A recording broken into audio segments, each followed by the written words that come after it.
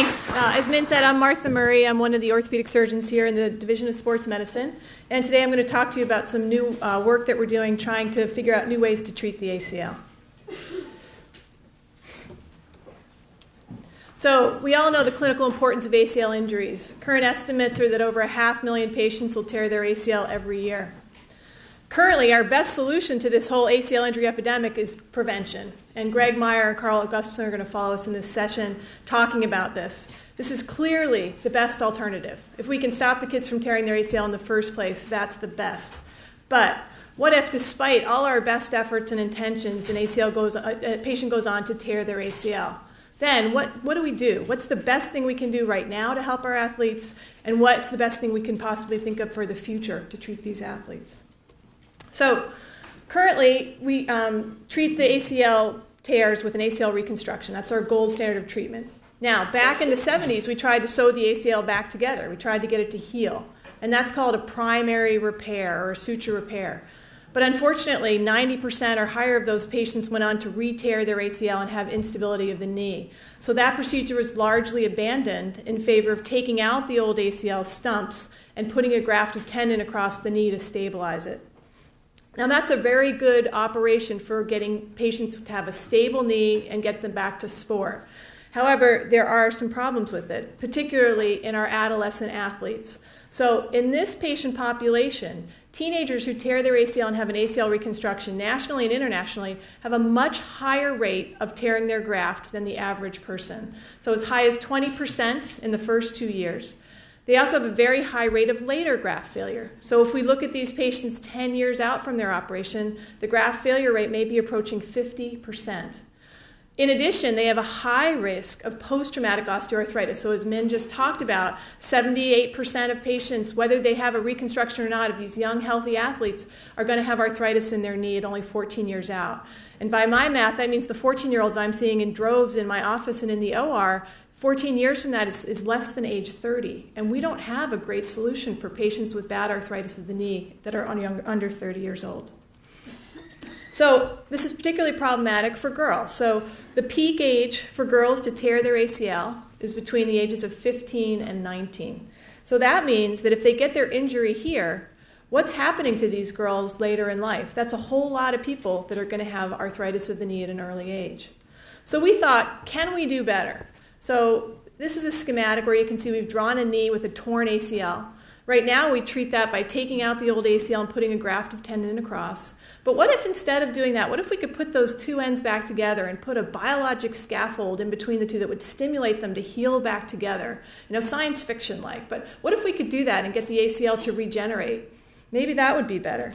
And the reasons that we think that might be better are several. So first off, the ACL, it really it doesn't look like a tendon graft, right? It's really not a cylinder. It's a beautiful fan-shaped ligament with broad insertion sites and different bundles that activate at different times and where the knee is flexing. We could preserve some of that if we could get those ends to heal back together.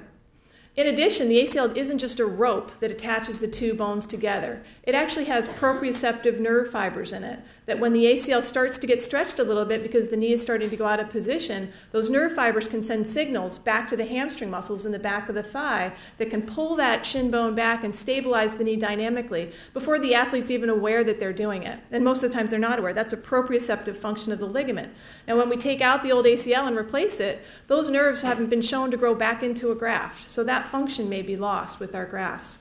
We could also preserve some of the biomechanics of the ligament if we can get it to heal. But being in the joint is brutal. Okay, so you have a patient who tears their MCL. Most of the time, you can put them in a hinge knee brace that simply supports the knee so it doesn't keep going into valgus and stressing out the injured MCL. And the MCL will go on to heal fairly uneventfully. Don't even need surgery. But in contrast, the ACL, if you tear your ACL and we go and try to sew it back together, even with surgery, we can't get it to heal. And the question we wondered was why? These are both ligaments, they're both part of the knee, they're only about two centimeters apart. So, why does one heal so well without intervention and the other one not heal at all? So, we did a series of studies looking at that and basically comparing what happens in the MCL after injury and what happens in the ACL. How do the cells respond? How do the blood vessels respond? And I'll just summarize some of the main findings here. And what we found was very interesting. we found that in both the MCL and the ACL, some of the basic biologic processes that you need for wounds to successfully heal or ligaments to successfully heal happen in both tissues. So the cells proliferate after injury. They, they make more cells to try to help, you know, they call in the recruits. They make more extracellular matrix or the protein of ligament. They make plenty of that material. And the cells are also able to migrate, so they could migrate into a wound site. But is there a bridge that connects the two ends of the torn ACL? There isn't. Whereas in the MCL, there's this nice bridge. And what do I mean by that? If we go in and we make a, just a simple slit in the knee um, and we close up the knee and then we go back and look and see what happens at a week. So we've opened up the knee, make a slit in the MCL, slit in the ACL, close it up, go back at a week. This is what we see. And you can see for the medial collateral ligament, which heals successfully, that slit has been filled in with a beautiful scaffold material that's releasing FGF2, which is just one of the growth factors we need for early healing. But if we look at a whole spectrum of 24 different things, all of these things are being expressed in the right time in that nice wound. In contrast, in the ACL, not only is there no FGF2, there's nothing. It's just empty. There's a open defect there for the ACL. No place for any wound healing to occur. And why is that? Well, if we go back and we think about how, how wounds normally heal, the MCL, your skin, Achilles tendon, what happens is when you get a wound, there's fibrinogen that's circulating in your blood as one of the plasma proteins, and it gets cleaved by something called thrombin uh, uh, when you get an injury to make this sticky fibrin platelet net that's little, it's like a blood clot, and it solidifies in the wound site, and it acts as your scaffold to fill in the gaps between the two edges of the wound. The surrounding cells from the healthy tissue on either side can then grow into that and reconnect the tissue, whatever it is, whether it's your skin or your MCL. And as those cells crawl in, they gradually release something that breaks down that initial scaffold as it's being replaced by collagen and things that are more structural over time. However, inside the joint, synovial fluid, the fluid in the joint, has something called plasminogen, which is an inactive form of the enzyme plasmin that's always circulating in your synovial fluid. When you get an injury, the cells lining the joint upregulate their production of something called urokinase plasminogen activator. And what that is, is that something that takes that plasminogen, which is not active, and it converts it to its active form of plasmin. So when you get an injury into your joint, you still get bleeding and release of that fibrinogen. The fibrinogen can get cleaved by the thrombin, but now you have all this plasmin around, so you never make that nice solid clot. It gets dissolved quicker than it can form. And that's why when patients come into the ER with a bad knee injury like an ACL tear, the doctor can pull off 50 cc's of rust colored fluid. The needle doesn't get clogged with any clot, the blood can't clot inside the joint.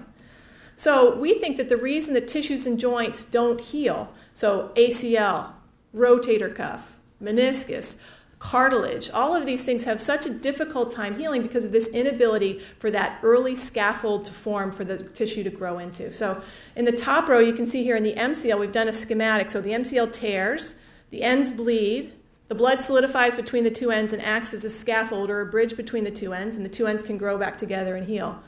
But in contrast, in the ACL, even if we stabilize the two ends with suture, the blood clot can never form between the two ends. And eventually, just like if you keep pulling on a rubber band enough times, your stitches are going to fail and your repair is going to fail because the tissue hasn't healed. So, if that's the case, if this bridging of the wound site is what we need to get the ACL to heal, what if we put in, what if we surgically implanted a bridge between the two torn ends that could hold those two ends together and serve as that bridge for the tissues to grow into and get the ACL to heal? And then we could use stitches too to kind of hold things together while the healing was occurring and support it. We call that the concept of bio-enhanced repair. So we have the stitches, but now we've also put in that scaffolding to help support the healing. So what would you put into that scaffold? What would you make it out of? So we did a series of studies looking at things that might work for that scaffolding material and looking at how the cells of the ACL would like it, how the blood vessels would like it, what would they respond to. And we did things like take a basic scaffold and add different growth factors to it. Say, okay, do they like FGF2? Do they like EGF? And what we found was that adding individual growth factors was okay, but it really didn't give us the bang for the buck that we were hoping for. So we went back and looked at how wounds heal again outside the joint, because it does it beautifully in the MCL. All we need to do is make that happen now in the joint. And it turns out when you get a tissue injury, you start off this clotting cascade in your plasma, and the platelets get activated, and your white cells get recruited. And the platelets, in turn, then have autocrine regulation of EGF, histamine, VEGF, von Willebrand's factor. And in the same time, the clotting cascade is getting started, and all these different enzymes are going and making things happen. And then the white cells are getting recruited, and they're making MMPs and TGF beta and TNF alpha. And what we found was that over 4,000 genes get turned on and off even in just the first day after the ACL is torn. Terrific. How are we going to do that? Right? So what we need is something that looks like this. So this is a little packet that inside it has different packets of different growth factors and things that could get released all at the right time and in the right place. But gosh, this would be pretty hard to engineer in the lab. It would take us a while. So this is actually a schematic of something that everybody in this room knows how to make, and that's a platelet. So platelets, if you remember, when we looked at the initial part of wound healing, the first thing that happened was that your platelets got activated. So what if we could just make the platelets activate? Then we could get the rest of the stuff to all kick in. And so we thought that sounds like a good idea, but maybe some of the other blood factors matter as well. So we studied the effect of different concentrations of platelets, different types of PRP. Should we put red cells in? Should we put white cells in? And this is what we found. We found that platelets and the plasma proteins are both critical if you want to get the ACL to heal. So you have to have both of those things there. And actually, the red cells, which are the cells we take out of blood to make PRP, turn out to be really important in wound healing because they're an, a delayed oxygen source for the wound site. White cells also release important anabolic growth factors, so things that help things to heal. So all parts of the blood play a role. So after we spent about a decade trying to figure out how to make the optimum PRP, it turns out what tends to work the best for this application is just regular blood. Don't mess with it. It's been working for thousands of years. So then we wanted to test this. So we developed an in vivo model. So it's great to make things work in the test tube, but we actually have to see how it's going to work in the knee, which is a complex environment.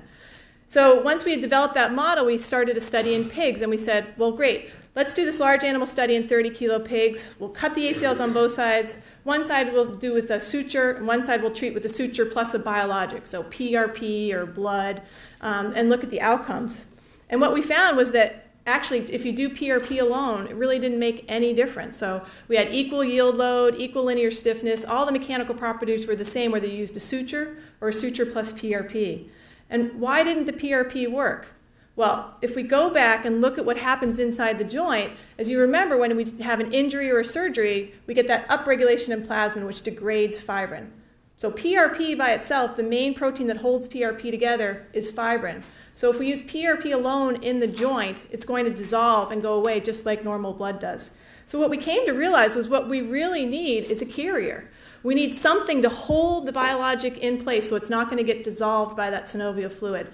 And it turns out that if you use collagen, which is the basic protein that the ACL is made of, and mix it with the fibrin in either blood or PRP, it forms a copolymer that doesn't get dissolved by plasmin. And collagen also activates platelets, so that can start the whole wound healing process.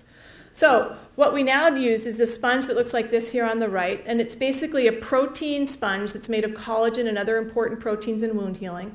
And we can put that between the two torn ends of the ACL and load it with our biologic. And this is our scaffold that we use. So, the basic concept is to use this protein scaffold, and then you can put it between the two torn ends of the ACL, add blood to the scaffold. The scaffold soaks up the blood and holds it in the wound site, and, and then we have our bioenhanced repair.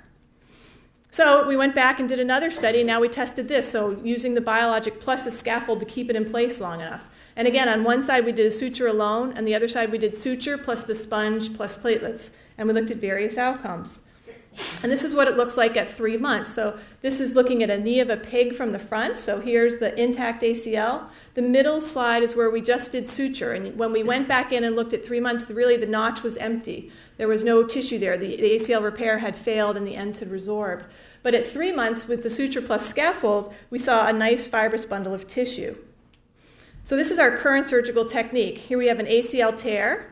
Basically, we can take an endo button device with sutures attached to it, put it up through a small tunnel in the femur, so the stitches are coming out through the ACL stump on the femoral side. And then we can take the red sutures that you can see here and pass them through our sponge. And then we can pull those red sutures down through the tibia, which pulls the sponge into the area between the two torn ends of the ACL. And we can tie that over a button on the tibia. And then we can connect the green sutures that are coming from the femoral tunnel to those that we've placed into the tibial stump. Pull that up into the sponge. So we're left now with a sponge in between the two torn ends of the ACL and stitches to stabilize it. And at that point, we can then add the patient's own blood to the sponge, and that soaks it up and holds it in place. When we do that and we look at the results a, at a year in animal trials, we can see that the bioenhanced repair, so on the right hand column, compared to the ACL reconstruction in the middle column, the mechanical properties are actually pretty similar at a year for a graft and a repaired ACL. And so we thought, great, so now we have something that might be a little bit less invasive for our patients. We don't have to take a graft, um, and it, we can also do it with a much smaller incision. So that was good. But the exciting thing that we also found was what happens to the cartilage. And this was relatively unexpected. So in the ACL transected group of animals, at a year, um, almost all of them had arthritis that looked like this on the medial femoral condyle. So a real beating up of the cartilage. This happened at a year in the animal models, where in patients it probably takes you know 14 to 20 years for it to happen. But it was in the same exact pattern and in the same places. In the animals that we did an ACL reconstruction on, a bone patellar tendon bone uh, reconstruction, we saw this very similar cartilaginous changes to if we hadn't done any operation at all. Again, similar to what we see in our human patients. However, when we did this bioenhanced repair, we didn't find the arthritis. And we don't know why. We always have thought that arthritis would happen because of mechanical instability in the knee. But the mechanical properties and the mechanical behaviors of both treatment types were the same. So we're not really sure why this group didn't get arthritis, whether it was because we're saving those proprioceptive nerves and keeping that dynamic stabilization of the knee, or whether it's less invasive, or whether there's something about using the biologic that helps protect the cartilage. We don't know, and that's the subject of future study now. So now we're kind of on this pathway to try to figure out how do we get this going to patients. So we've had an idea to regenerate the ACL. We've defined why it doesn't heal in the first place. We've done some experiments to figure out how to get it to heal. Now we're at design freeze for the sponge, and we're in our manufacturing and validation of this phase in hopes of eventually getting to a clinical trial. So, in summary, we think that failure of tissues inside joints, the reason that those tissues don't heal, may be due at least in part to this early loss of scaffold in the wound site so that the tissues can never reconnect. But if we put a bioactive scaffold in there, it may stimulate repair. We think that all cells that are in our blood are there for a reason for wound healing and probably are all important. And that the delivery vehicle that you put, whatever biologic agent you're using to get things to heal, that delivery agent may be as important or more important than the actual biologic that you use. And the bioenhanced repair may help minimize post traumatic osteoarthritis after an ACL tear.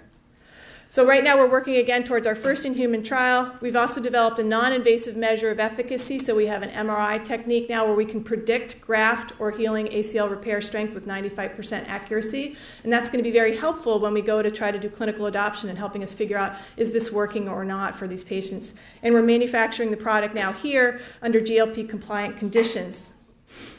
So until we get there, what can we do? Well, right now, if a patient tears their ACL, we can still try to do the best ACL reconstruction we can that has the best outcome. So we know we want to use autograft in our young patients rather than allograft to help minimize the risk of graft re-tear. We probably want to start thinking about should we save those ends of the ACL that are torn rather than taking them all out. And here, what we do at Children's is we typically maintain that stump and make very small tunnels to just fit the graft up through the middle of the remaining ACL in an effort to save even some of those proprioceptive nerve fibers. We also want to make sure we avoid impingement. So a lot of our teenage girls are hyperextenders. You have, if you place the tibial tunnel for your graft anteriorly, is we advocate for adults a lot of the times. Those hyperextensible knees will go on to stretch out the graft, and we get into trouble. So we have to think about tunnel placement very differently in our teenage girls, especially that hyperextend. And also, rehabilitation after reconstruction. This is probably the most important factor in helping minimize the chance of these kids getting osteoarthritis. So, we really need to monitor them for overuse. Kids that have had an ACL reconstruction and get pain and swelling every time they play are probably not going in the right direction, and we need to figure out how to change that. And we need to use a return to play criteria that's functionally based. And Greg, I think, we'll talk a little bit about that today. And the work of Lynn Snyder Mackler at Delaware is also key in this area. There's more information on ACL injury and treatment, so I went through a brief um, kind of outline of what we've worked on here. We also put out a book through Springer called the ACL Handbook, and it's available on Amazon. Um, but it has more, they also have free peeks on Amazon, so you can go and read most of the book, I think, for free. Um, it has stuff about the epidemiology, history of treatment, current treatment, and then some of the work we've done now trying to understand the biology of ACL treatment and healing. I'd just like to acknowledge the students and postdocs who've done the majority of this work that I get to present as well as our funding support primarily through NIAMS and the NIH, but also some through the DoD, OREF, MTF, the NFL, medical charities, and the Children's Hospital Orthopedic Surgery Foundation. So, what's the best answer? prevention. So I'm going to turn it over to Greg and Carl, and they'll talk about that now.